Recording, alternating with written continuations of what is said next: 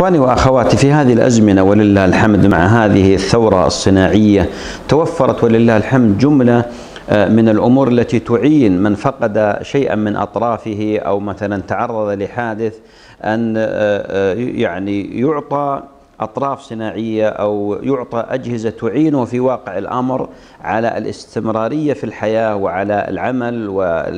والوظيفة والحرفة ولذلك من فضل الله عز وجل علينا في هذا الزمان أن توفرت مثل هذه الأجهزة. ولذلك أنا أهيب بإخواني أن يسهموا بالوقف على